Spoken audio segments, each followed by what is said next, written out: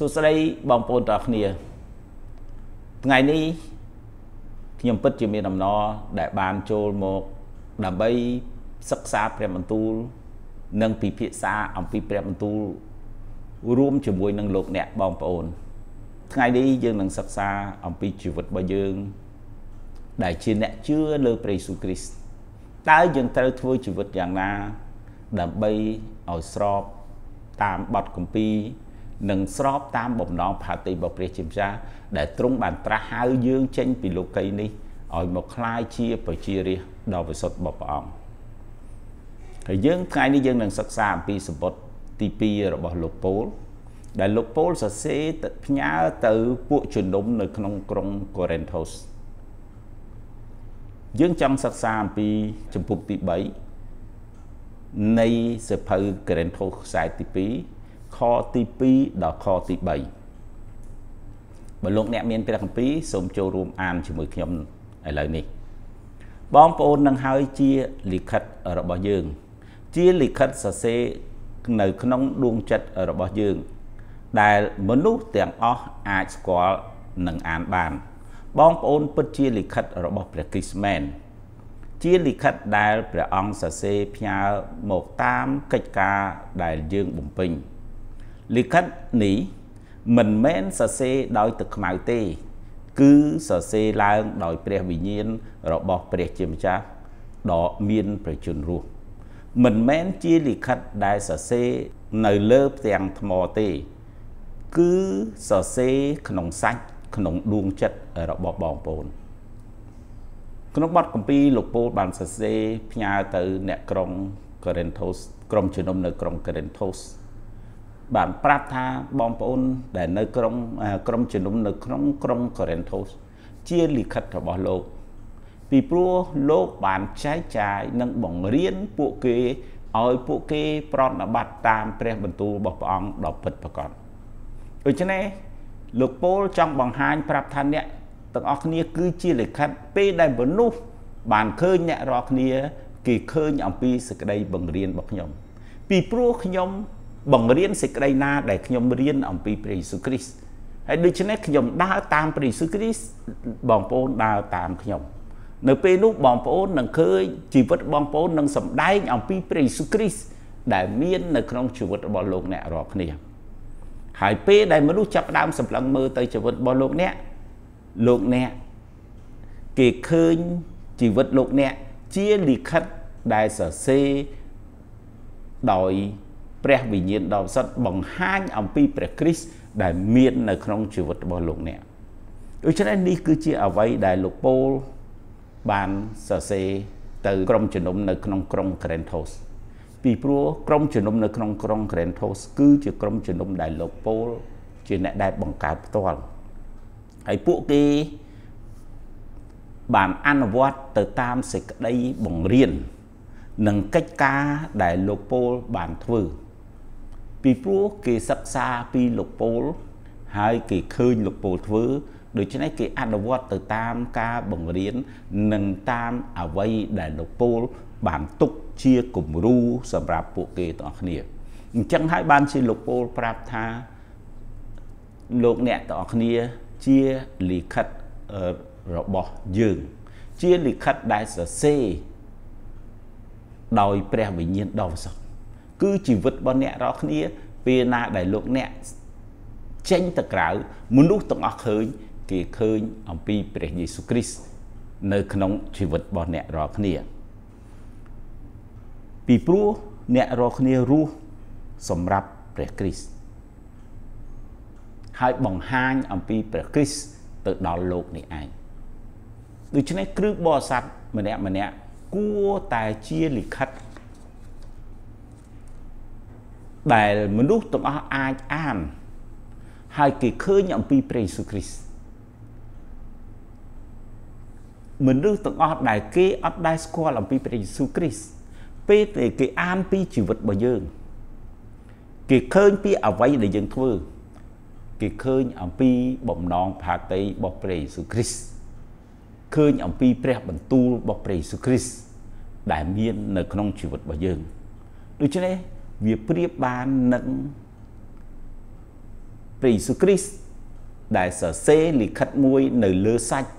នៅលើឈាមនៅលើដួងចិត្តរបស់យើងតគ្នាគ្រប់កន្លែងគឺមនុស្សទាំងអស់នឹងឃើញអំពីព្រះយេស៊ូវគ្រីស្ទយើងមើលអំពីរឿងមួយ នៅពេលដែលព្រះយេស៊ូវគ្រីស្ទបានបញ្ជូនសិស្សរបស់ព្រះអង្គទៅរៀបចំកន្លែង ដើម្បីធ្វើពិធីជប់លៀង ជាមួយព្រះអង្គព្រះយេស៊ូវមានព្រះបន្ទូលតបថា ពេលចូលទៅក្នុងទីក្រុង អ្នកនឹងជួបបុរសម្នាក់លីក្អមទឹក ចូលដើរតាមគាត់រហូតដល់ផ្ទះដែលគាត់ចូល ហើយនិយាយនឹងម្ចាស់ផ្ទះថាលោកគ្រូចាត់យើងឲ្យមកសួរអ្នកថាបន្ទប់ដែលលោកនឹងជប់លៀង ជាមួយសិស្សក្នុងពេលបុណ្យចម្លងនៅឯណាពីស៊ូបានបង្គាប់ទៅសិស្សរបស់ព្រះអង្គថាឥឡូវទៅទីក្រុងទៅហើយពេលដែលអ្នកចូលទៅដល់ទីក្រុង អ្នកនឹងឃើញបរោះម្នាក់កំពុងតែលីក្អមទឹកហើយអ្នកដើរតាមបរោះលីក្អមទឹកទៅពេលដែលអ្នកដើរតាមបរោះលីក្អមទឹកទៅដល់កន្លែងផ្ទះមួយដែលគាត់ចូលលោកអ្នកចូលតាមគាត់ហើយនឹងជួបម្ចាស់ផ្ទះដែលនៅទីនោះ ហើយគ្រាន់តែប្រាប់ថាកន្លែងណាដែលលោកគ្រូអាចរៀបចំពិធីជប់លៀងមុនបុណ្យចម្លងជាមួយសិស្សរបស់លោកដូច្នេះពេលដែលសិស្សបានធ្វើដំណើរទៅហើយសិស្សជួបដូចនឹងអ្វីដែលព្រះយេស៊ូវគ្រីស្ទមានព្រះបន្ទូលប្រាប់គេវាប្រៀបបាននឹងព្រះអង្គ បានធ្វើពិធីណាត់មួយយ៉ាងល្អសម្រាប់ឲ្យសិស្សនោះអាចទៅហើយជួបដូចអ្វីដែលព្រះអង្គបានមានព្រះបន្ទូលប្រាប់ដូចជាព្រះអង្គបានរៀបចំយ៉ាងស្អាតដើម្បីឲ្យសិស្សទៅហើយជួបដោយការទាំងអស់នោះឯងយើងមើលជាធម្មតាការដែលដងទឹក ការដែលលីក្អមទឹកគឺជាស្ត្រី មិនមែនជាបរោះទេ ប៉ុន្តែម្ដងនេះគឺជាបរោះដែលលីក្អមទឹកវាគួរឲ្យចម្លែកពីព្រោះជាទម្លាប់ធម្មតាជនជាតិអ៊ីស្រាអែលមិនបរោះមិនលីក្អមទឹកទេនោះគឺជាកិច្ចការរបស់ស្ត្រីប៉ុន្តែនេះគឺជាវិធីណាត់ជួបមួយដែលព្រះជាម្ចាស់បានរៀបចំសម្រាប់សិស្សរបស់ព្រះអង្គព្រះអង្គបានរៀបចំហើយទាំងអស់សម្រាប់សិស្សនៅពេលដែលសិស្សធ្វើដំណើរទៅ ពេលដែលសិស្សចូលទៅដល់ក្នុងផ្ទះនោះសិស្សក្រន់តែប្រាប់ទៅម្ចាស់ផ្ទះថាកន្លែងណា ដែលជាបន្ទប់ដែលលោកគ្រូនឹងធ្វើពិធីជប់លៀងជាមួយនឹងសិស្សរបស់លោកមុនពេលបុណ្យច្បងនោះឯងគេបង្ហាញទៅបន្ទប់នោះឯងពីព្រោះពេលដែលគេសម្លឹងមើលមកសិស្សរបស់ព្រះយេស៊ូវគ្រីស្ទគេឃើញអំពីព្រះយេស៊ូវគ្រីស្ទដែលមាននៅក្នុងជីវិតរបស់ពួកគេទាំងអស់គ្នានោះឯងដូច្នេះ គេបានប្រាប់អំពីកន្លែងដែលព្រះអង្គត្រូវជប់លៀងដោយមិនសង្ស័យអំពីអ្វីសោះឡើយគ្រាន់តែប្រាប់ថាបន្ទប់នោះគឺជាកន្លែងដែលលោកគ្រូត្រូវជប់លៀងជាមួយសិស្សរបស់លោកដូច្នេះកូនសិស្សរបស់ព្រះអង្គចេញទៅជាសម្បត្តិរបស់ព្រះអង្គផ្ទាល់ទោះបីជាមិនបានសរសេរលាយលាក់ជាអក្សរប៉ុន្តែពេលដែលមនុស្សចាប់ដើមសម្លឹងមើលពេលដែលម្ចាស់ផ្ទះចាប់ដើមសម្លឹងមើល សិស្សរបស់ព្រះអង្គម្ចាស់ផ្ទះឃើញអំពីព្រះអង្គដែលមាននៅក្នុងជីវិតរបស់ពួកគេឃើញអំពីចំអសំណេរដែលព្រះអង្គបានសរសេរនៅលើជីវិតរបស់ពួកគេដូច្នេះដែលធ្វើមិនឲ្យគេស្ទាក់ស្ទើរក្នុងការដែលប្រាប់ពីកន្លែងនឹងនាំទៅបន្ទប់ដែលគេរៀបចំសម្រាប់ព្រះយេស៊ូវគ្រីស្ទដើម្បីធ្វើពិធីជប់លៀង គេឃើញអំពីព្រះយេស៊ូវគ្រីស្ទដែលមាននៅក្នុងសិស្សរបស់ព្រះអង្គផ្ទាល់ពីព្រោះព្រះជាម្ចាស់ព្រះអង្គចង់ស្ថិតនៅក្នុងជីវិតរបស់យើងម្នាក់ម្នាក់ឥឡូវនេះយើងដឹងហើយថា បន្ទាប់ពីសិស្សព្រះអង្គសម័យសិស្សរបស់ព្រះអង្គមកដល់សម័យនេះព្រះយេស៊ូវគ្រីស្ទគឺស្ថិតនៅក្នុងជីវិតរបស់យើងម្នាក់ម្នាក់ ដូច្នេះជីវិតរបស់យើងមានព្រះយេស៊ូវគ្រីស្ទនៅក្នុងជីវិតរបស់យើងផ្ទាល់តើយើងគួរតែបើកឲ្យមនុស្សទាំងអស់ឃើញអំពីព្រះយេស៊ូវគ្រីស្ទដែលមាននៅក្នុងជីវិតរបស់យើងឬយើងគួរតែឃ្លុំអាវឲ្យក្រាស់ក្រាស់ដើម្បីកុំឲ្យមនុស្សបានមើលឃើញអំពីព្រះយេស៊ូវគ្រីស្ទដែលមាននៅក្នុងជីវិតរបស់យើងយើងអាចពាក់អាវក្រាស់ក្រាស់ឬយករបាំងដើម្បីមកបាំង កុំឲ្យមនុស្សបានមើលឃើញអំពីព្រះយេស៊ូវគ្រីស្ទដោយមូលហេតុនៃផ្សេងផ្សេងដែលប៉ះពាល់ដល់កិត្តិយសប៉ះពាល់ដល់ជំនឿដែលនៅក្នុងប្រទេសប៉ះពាល់ទៅដល់កិច្ចការគោរពឬការមើងងាយដែលមាននៅក្នុងប្រទេសនោះវាអាចធ្វើឲ្យយើងយកអាវមកឃ្លុំហើយឬយករនាំងមកបាំង ដើម្បីកុំឲ្យមនុស្សទាំងអស់មើលឃើញព្រះយេស៊ូវគ្រីស្ទដែលមាននៅក្នុងជីវិតយើងប៉ុន្តែព្រះជាម្ចាស់ទ្រង់ចង់គង់នៅក្នុងជីវិតរបស់យើងព្រះអង្គចង់ឲ្យជីវិតរបស់យើង បានសម្ដែងអំពីអង្គទ្រង់សម្ដែងអំពីវត្តមានរបស់ព្រះអង្គទៅដល់មនុស្សផ្សេងទៀតដែលនៅក្នុងសង្គមឬក៏សហគមន៍របស់យើងផ្ទាល់ នៅក្នុងសភៅសេផានីចំពុកទី3ខទី17ព្រះអង្គបានមានព្រះបន្ទូលទៅជនជាតិអ៊ីស្រាអែលពីព្រោះគេតែងតែមិនស្ដាប់បង្គាប់ហើយបះបោហើយដើរចេញពីព្រះអង្គគេមិនបានបង្ហាញអំពីព្រះជាម្ចាស់នៅក្នុងជីវិតរបស់គេគេបែរជាក្បត់របស់ព្រះអង្គហើយទៅគោរពថ្វាយបង្គំព្រះដតីគេបែរទៅជាធ្វើតាមសាសនាដតី ធ្វើតាមព្រះដតីដែលជាព្រះនៃជនជាតិផ្សេងផ្សេងហើយធ្វើឲ្យព្រះជាម្ចាស់ទ្រង់ព្រះពិរោធហើយព្រះអង្គជាងចេញពីក្នុងចំណោមសហគមន៍អ៊ីស្រាអែលពេលដែលព្រះជាម្ចាស់យាមចេញពីចំណោមសហគមន៍អ៊ីស្រាអែលសហគមន៍អ៊ីស្រាអែលតែងតែជួបប្រទះនៅបញ្ហា ជួបប្រទះនៅការទុកលំបាក ដែលកើតមាននៅក្នុងជីវិតការគៀបសង្កត់ការរំលោភបំពាន ការរឹបអូសការកែនយកទៅធ្វើជាទាសករនៅប្រទេសផ្សេងផ្សេងទៀតដូច្នេះនេះគឺជាអ្វីដែលជនជាតិអ៊ីស្រាអែលបានធ្វើហើយបានដកព្រះចេញពីជីវិតរបស់ពួកគេប៉ុន្តែពេលដែលគេជួបទុក្ខលំបាកខ្លាំងគេស្រែករកព្រះអង្គ គេបែរមករកព្រះអង្គព្រះអង្គតែងតែត្រឡប់មករកគេវិញព្រះអង្គមិនដែលបំភ្លេចជនជាតិអ៊ីស្រាអែលនោះឡើយមានតែជនជាតិអ៊ីស្រាអែលទេដែលបំភ្លេចព្រះអង្គព្រះអង្គចង់គង់នៅក្នុងពួកគេ ក្នុងចំណោមសហគមន៍របស់ពួកគេ ដើម្បីឲ្យព្រះអង្គអាចធ្វើការនៅក្នុងជីវិតរបស់គេនិងបង្ហាញអំពីព្រះកិត្តិនាមរបស់ព្រះអង្គតាមរយៈពួកគេផ្ទាល់ នៅក្នុងសភៅសេផានីចំពុកទី3ខទី17គឺនៅពេលដែលគេបានត្រឡប់មករកព្រះអង្គនេះជាអ្វីដែលជាព្រះបន្ទូលរបស់ព្រះ ព្រះអម្ចាស់ជាព្រះរបស់អ្នកទ្រង់គង់នៅជាមួយអ្នក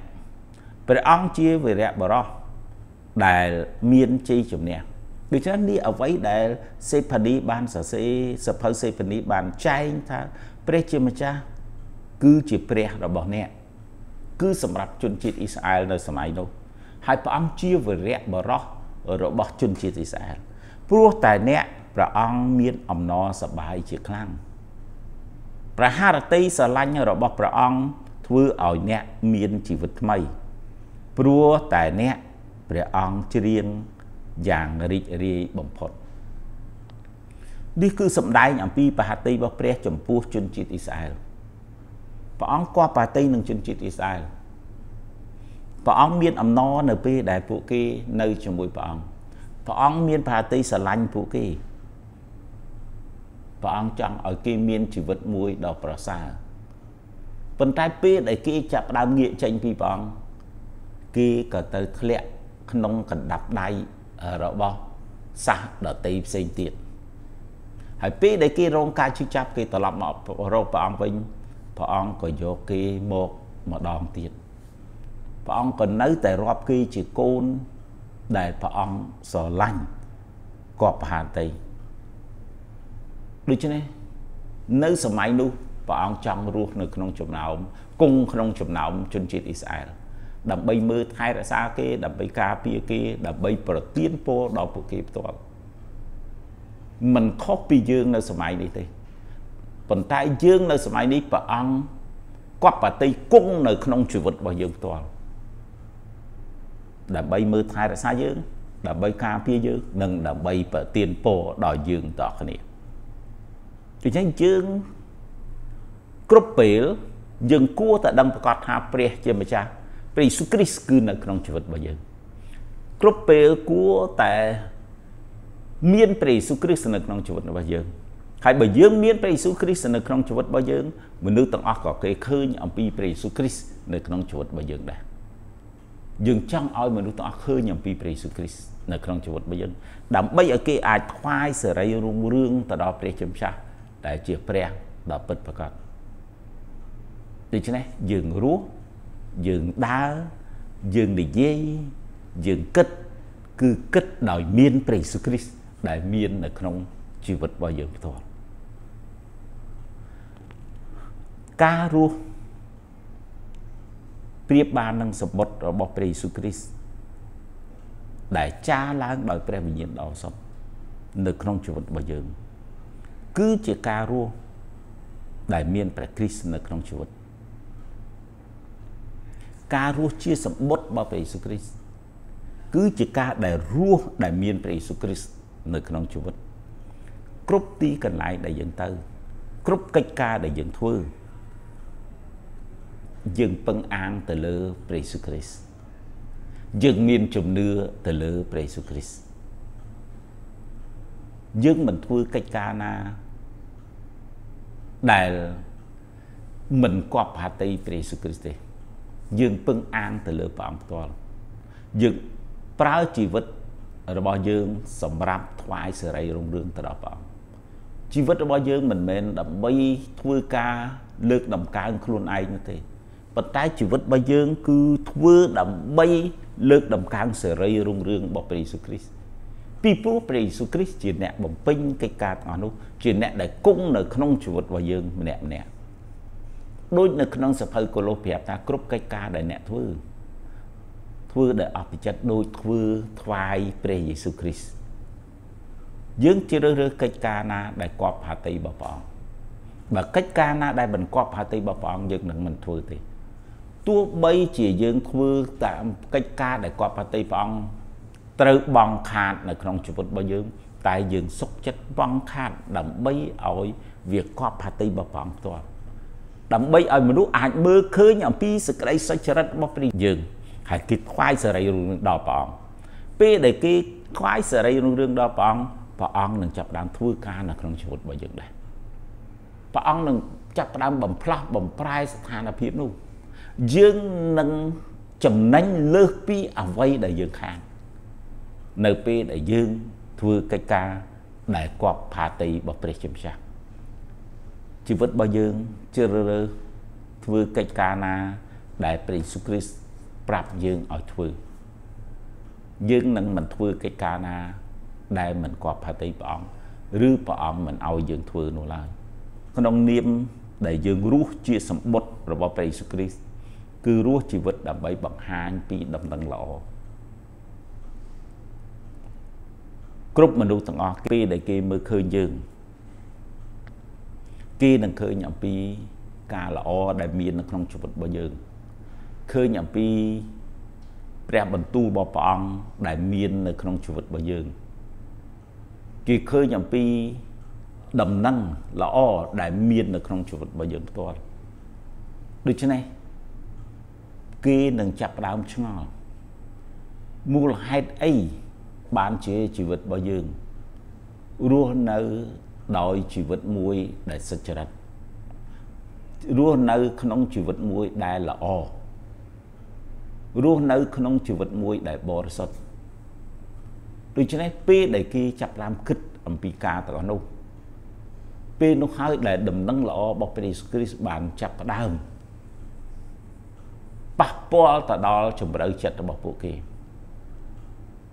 ជួនកាលយើងត្រូវប្រាប់គេអំពីព្រះយេស៊ូវគ្រីស្ទពីព្រោះជីវិតរបស់យើងគឺរស់សម្រាប់ដំណឹងល្អរបស់ព្រះយេស៊ូវគ្រីស្ទសម្រាប់នាំដំណឹងល្អរបស់ព្រះយេស៊ូវគ្រីស្ទទៅដល់អ្នកដទៃផ្សេងទៀតហើយនេះគឺជាចំណុចសំខាន់ដែលយើងត្រូវធ្វើដូច្នេះការរស់ ប្រៀបបាននឹងសម្បត្តិរបស់ព្រះយេស៊ូវគ្រីស្ទគឺជាការរស់ដែលមានព្រះគ្រីស្ទនៅក្នុងខ្លួន ជាការរស់ដើម្បីថ្វាយសេរីរុងរឿងទៅដល់ព្រះជាម្ចាស់ជាការរស់ដើម្បីនាំដំណឹងល្អទៅដល់មនុស្សផ្សេងទៀតឲ្យគេស្គាល់ព្រះយេស៊ូវគ្រីស្ទជីវិតរបស់យើងគឺរស់បែបនេះឯងគឺរស់សម្រាប់តែព្រះយេស៊ូវគ្រីស្ទតែមួយគត់យើងសុខចិត្តបង់ខាតយើងសុខចិត្តបិទមាត់ យើងសុខចិត្តមិនធ្វើអ្វីមួយ បើវា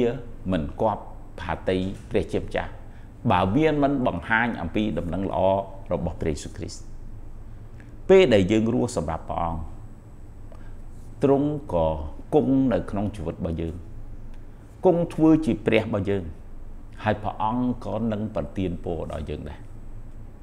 ពីព្រោះពេលណាដែលមានព្រះ យើងមានសេចក្តីសុខសាន្តពេលណាដែលមានព្រះក្នុងជីវិតរបស់យើង យើងមានប្រពោដែលហូរចូលមកក្នុងជីវិតរបស់យើងផ្ទាល់ដោយសារតែមានព្រះនៅក្នុងនោះឯងព្រះអង្គជាព្រះដែលល្អដូច្នេះអ្វីដែលចូលមកក្នុងជីវិតរបស់យើង គឺនឹងល្អពេលដែលយើងមានព្រះអង្គព្រះអង្គជាព្រះដែលបរិសុទ្ធដូច្នេះអ្វីដែលចូលមកក្នុងជីវិតរបស់យើងគឺនឹងបរិសុទ្ធពីព្រោះ ព្រះអង្គជាព្រះដែលបរិសុទ្ធដែលគង់នៅក្នុងជីវិតរបស់យើងយើងអានខគម្ពីរចុងក្រោយ នៅថ្ងៃនេះក្នុងសភៅទុតិយកថាចំពុកទី30ខទី9ព្រះអម្ចាស់ជាព្រះរបស់អ្នកនឹងប្រទានឲ្យអ្នកបានចម្រុងចម្រើន ក្នុងគ្រប់កិច្ចការដែលអ្នកធ្វើព្រះអង្គនឹងប្រទានឲ្យអ្នកមានកូនចៅច្រើនហ្វូងសัตว์របស់អ្នកនឹងកើនចំនួនច្រើនឡើង ហើយដីរបស់អ្នកនឹងបង្កើតភោគផលយ៉ាងច្រើនដែរត្បិតព្រះអង្គម្ចាស់សពតិនឹងប្រទានឲ្យអ្នកមានសុភមង្គលដោយដូនតារបស់អ្នកអ្វីដែលព្រះគម្ពីរចែងអំពីជនជាតិអ៊ីស្រាអែល